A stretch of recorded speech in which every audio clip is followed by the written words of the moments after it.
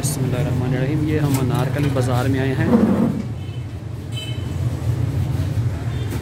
सिंधी बिरयानी और कौरमा टेस्ट करने। ये हम अपने बचपन से खाया करते थे, मुझे 25-30 साल हो गए यहाँ पर आते हुए। आप देख सकते हैं, इनकी बिरयानी का जायका पूरे लाहौर की बिरयानी से बिल्कुल मुख्तलिफ़ है। भाई, कितने साल हो गए आपकी शॉप को यहाँ पे? चालीस साल हो चालीस साल से ये अनारकली बाज़ार में है। इनकी शॉप के बिल्कुल सामने गली में कुतुबुद्दीन नबी का मज़ार है। ये आप देख सकते हैं। ये आप देख सकते हैं जी। ये इनकी बिरयानी है ये। इसके साथ रायता और सलाद भी अभी आ जाएगा। और ये इनका चिकन कौरमा है जी। किसी ज़माने में ये मटन कौरमा भी बनाया करते थे। लेकिन आजकल महँगाई की वजह से अफोर्डेबल नहीं है। इनका कौरमा बनाने का अंदाज़ सबसे मुनफरद है। बिल्कुल दहलवी रेसिपी के मुताबिक बनाते हैं। ये साथ में सादा नान और ये बिरयानी सिंधी। ये इसके साथ रायता भी आ गया है। ज़ीरे के साथ तैयार किया जाता है। बहुत ही जायकादार होता है इनका रायता भी। आई होप कि आपको पसंद आएगा। ये सैलड और अजीम भाई बैठो, बिस्मिल्लाह करो। ये अजीम भाई ने पहला बाइट लिया है।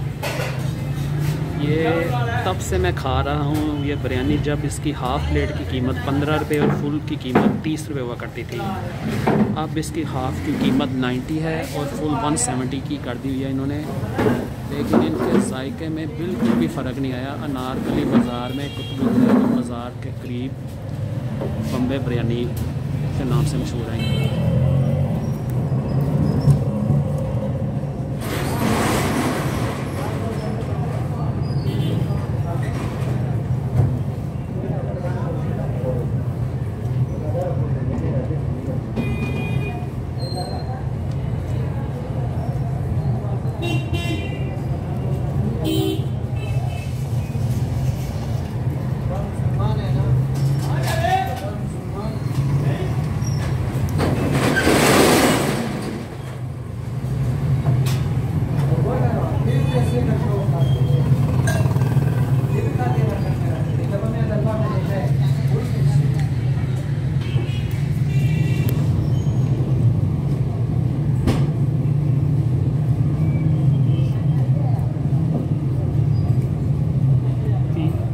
नहीं तू नहीं बना सकता तेरे को नहीं ना बनती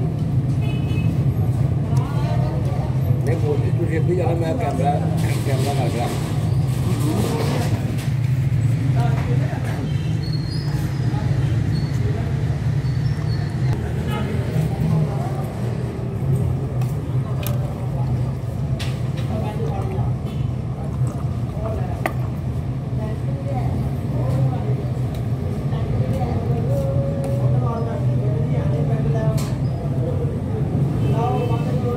सुपर मैं ये मुर्गा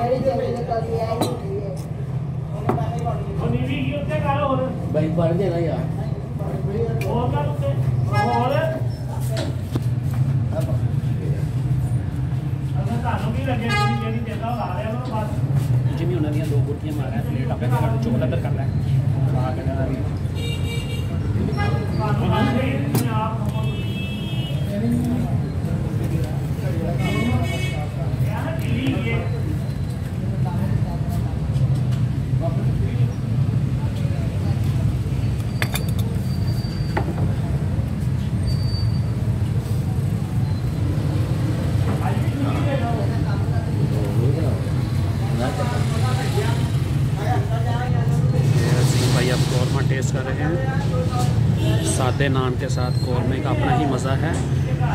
टिपिकल दहलवी स्टाइल जी, जिमी भाई कह रहे हैं कि कौरमा भी बेहतरीन है इनका। कौरमा पसंद आया मुझे। उनको पसंद आया कौरमा। रेकमेंडेड है जी आप अनारकली बाज़ार में जब भी आएँ, ये बम्बे बिरयानी और दहलवी कौरमा ज़रूर टेस्ट करें। आजमाइश शर्त है।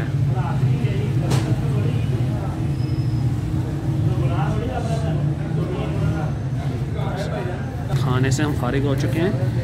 ये असल में पेपर मार्केट कहलाती है जी होल सेल पेपर के गोदाम है यहाँ पर।